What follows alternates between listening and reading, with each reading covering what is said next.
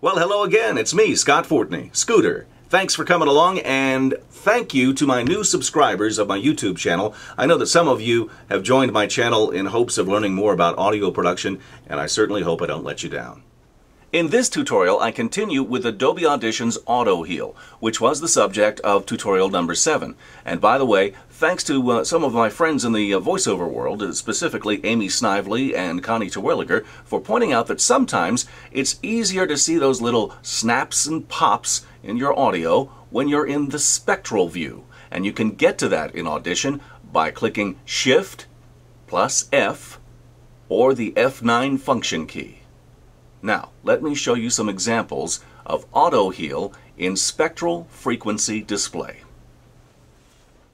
Here's a nasty audio glitch right at the beginning of this phrase here. Let's listen. And prevention of sexual violence. Right there. Let's zoom in on that. And you can probably see it right there. Now let's switch to spectral frequency display. And boy, is that bright. We highlight it, auto heal, it's gone.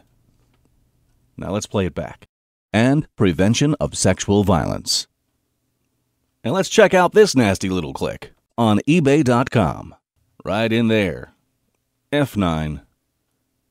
Zoom in. And it's that thing right there. Loud and clear auto heal, and gone.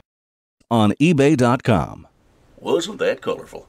I hope you'll join me for the next tutorial. Until then, thanks for watching.